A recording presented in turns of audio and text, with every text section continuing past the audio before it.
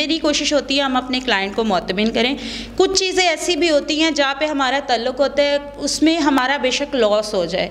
लेकिन मैं अपने काम को इसीलिए फोकस ज़्यादा देती हूँ कि देखें पैसे ज़्यादा या थोड़े पैसों से ज़िंदगी नहीं होती है इंसान लेकिन ये लोग जो अपने घरों की लड़ाइयाँ आजकल टिकटॉक पे ले आते हैं जी मेरे साथ ये हो रहा है मेरे ख्याल से कोई ऐसा इशू नहीं है। उनके साथ मेरा आज का तल्लक नहीं है। उनके साथ मेरा काफ़ी पुराना तल्लुक है। हम इकट्ठे मिला करते थे वीडियोज़ बनाया करते थे।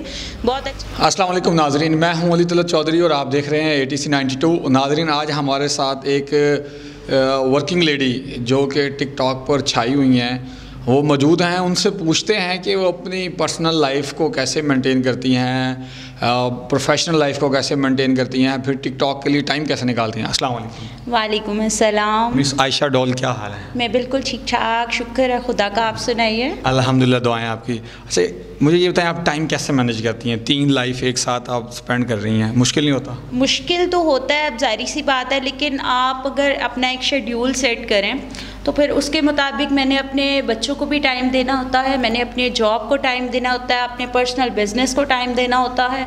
और उसके बाद टिकटॉक तो वैसे ही मतलब टिकटॉक पे आज की नहीं हूँ, मैं काफ़ी तीन चार साल से मैं टिकटॉक पे हूँ। और टिकटॉक से वैसे ही मुझे प्यार है। कितना प्यार मैं जस्ट इंटरटेनमेंट के लिए यूज़ करती हूँ। मुझे ये नहीं है कि मैं बहुत ज़्यादा फ़ेमस हो जाऊँ लेकिन जस्ट मुझे ये अपना बहुत अच्छा जैसे एक दोस्त होता है तो जब मेरे पास जब भी कोई फ्री टाइम हो तो मैं इधर उधर टाइम स्पेंड करने के बजाय अपनी वीडियोस बनाती हूँ। मुझे अच्छा लगता है और बस इसी टिकटॉक से प्यार है ये टिकटॉकर से प्यार है? नहीं टिकटॉकर से मैं प्यार नहीं है कोई बस टिकटॉक से प्यार है मुझे और किसी से नहीं है।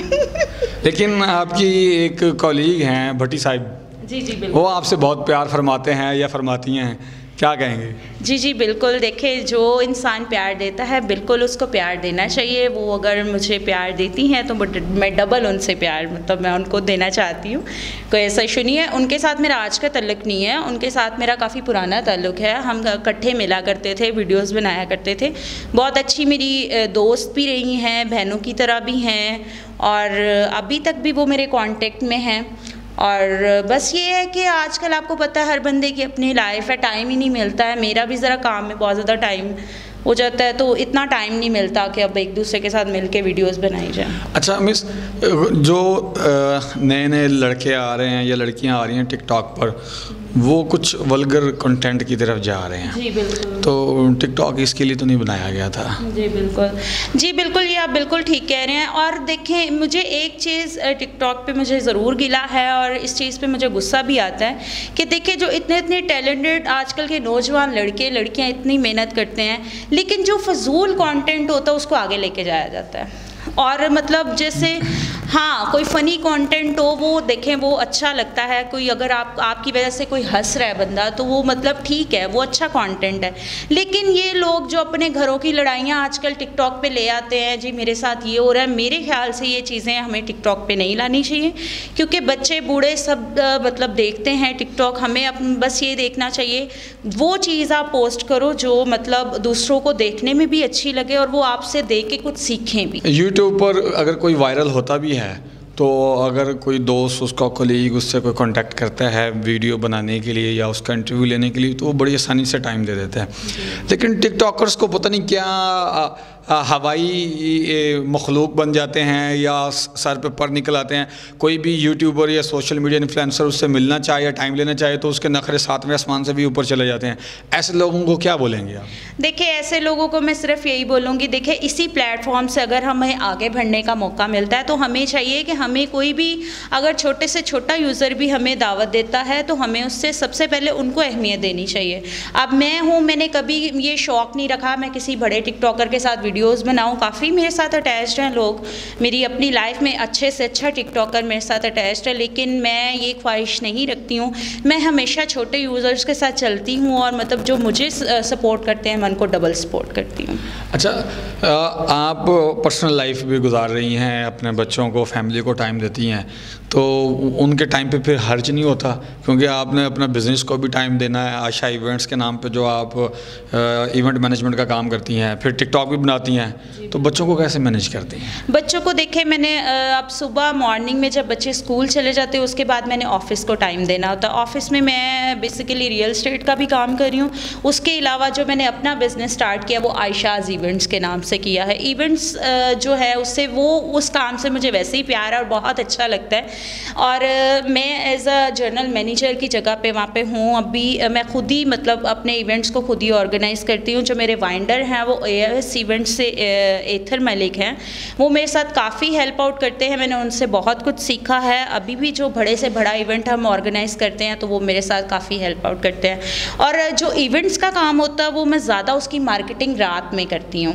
क्योंकि वो ग्रुप्स हमारे बने हुए हैं, जिन्होंने कुछ रिक्वायरमेंट्स की होती हैं, उनको जवाब देना होता है। और सैटरडे संडे जो होता है, वो बस फिर, और बच्चों के लिए मैं बाकी काम शायद स्किप कर जाती हूँ, लेकिन जो बच्चों का टाइम है, वो मस्ट है कि उनको देना ही होता है। स्टडी मैं खुद करवाती हूँ मैं कोई ट्यूशन नहीं डाले हुए बच्चे, मैं खुद ही उनको पढ़ाती हूँ। मॉर्निंग में भेजती हूँ और शाम में फिर मैं उनको खुद पढ़ाती हूँ। ये तो बहुत अच्छी बात है। अच्छा जो खातन जॉब करती हैं, फिर आके बच्चों को ट्यूशन पर भेज देती हैं, खुद जिम चली जाती हैं, इधर उधर तो उन वालदेन को या ख़वान को, माओ को आप क्या बोलेंगी कि बच्चों को 24 घंटे में कम से कम कितना टाइम देना लाजमी है, उससे नीचे एक डेडलाइन है या डेडलॉक है?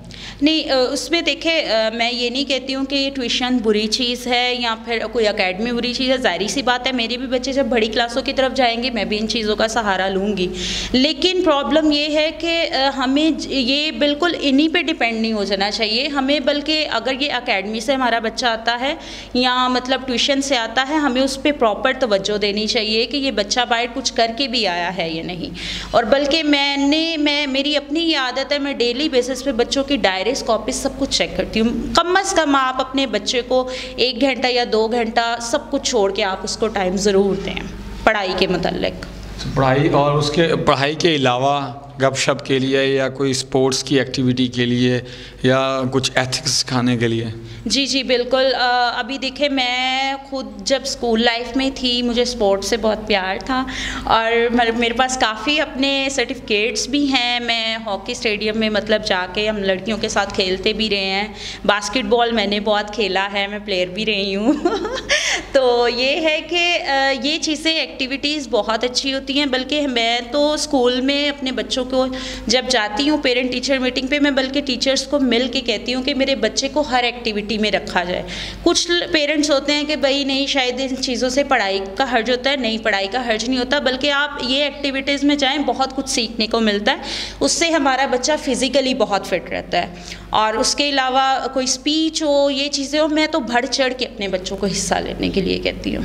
ये तो बहुत अच्छी बात है। मिस आप इवेंट्स के ऊपर चार्जेस वगैरह करती हैं या आप बिल्कुल फ्री ऑफ़ कॉस्ट गाइड भी कर देती हैं? क्या आप कैसे लोगों को हेल्प आउट करती हैं इस हवाले से? देखें सबसे पहले तो मेरा मेरी कोशिश होती है कि कोई भी इवेंट मैं अपने हाथ से जाने नहीं चाह मतलब देती हूँ। मेरी कोशिश होती है हम अपने क्लाइंट को मोतमिन करें। कुछ चीज़ें ऐसी भी होती हैं जहाँ पे हमारा तल्लुक होता है उसमें हमारा बेशक लॉस हो जाए। लेकिन मैं अपने काम को इसीलिए फोकस ज़्यादा देती हूँ कि देखें पैसे ज़्यादा या थोड़े पैसों से ज़िंदगी नहीं होती है।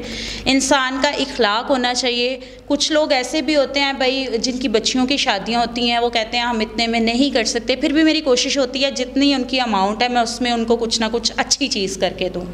तो मेरी तो कोशिश होती है सम टाइम मुझे कुछ एडिशन चीज़ें खुद से भी करनी पड़े तो मैं वो कर देती हूँ।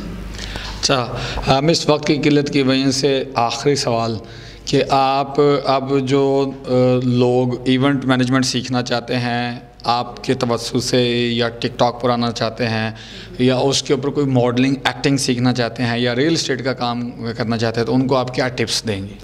आ, उनको मैं ये टिप्स दूँगी। देखें मैं तो ये चीज़ जानती हूँ कि कुछ भी सीखने के लिए हमें किसी का सहारे की ज़रूरत नहीं होती है। आप पहली तो बात है आप अपने आप को देखो आप अपने आप को मिरर में देखो कि आप में क्या क्वालिटी है या क्या टैलेंट है जो आप में छुपा हुआ है। बेशक खुदा ने हर इंसान को बनाया हर इंसान में किसी न किसी चीज़ का टैलेंट है। लेकिन कुछ लोग अपने टैलेंट को यूज़ नहीं करते हैं, वेस्ट कर देते हैं। मैं इस चीज़ के ख़िलाफ़ हूँ, मैं कहती हूँ, बेशक मैं औरत ज़ात हूँ, मैं ख़ुद से काम करती हूँ। मेरे में इतना टैलेंट है, हमारे पास क्लाइंट्स आते हैं, मैं खुद ही डील करती हूँ उनको। मैंने, मैं ये चीज़ जानती हूँ कि अगर मेरे में मेरे में ये टैलेंट है तो मैं इसको शो करना चाहती हूँ। मैं ये नहीं करती हूँ कि आप मतलब इस पर टिप्स मैं ज़्यादा नहीं दूँगी, बस ये कहती हूँ कि आप कोई, किसी भी चीज़ को हिम्मत से करो तो आप कभी मतलब नाकामयाब नहीं होते हैं, आप कामयाब होते हैं। बिल्कुल जी, आप किसी भी काम को अपने दिल, दिमाग की पूरी तवज्जो के साथ काम करेंगे तो आप कामयाबियाँ आपको मिलेंगी, नाकामी आपके पास नहीं आएगी। इरादा आपका पुख्ता होना चाहिए। इसी के साथ इजाज़त दीजिए, बहुत शुक्रिया, अल्लाह हाफ़िज़।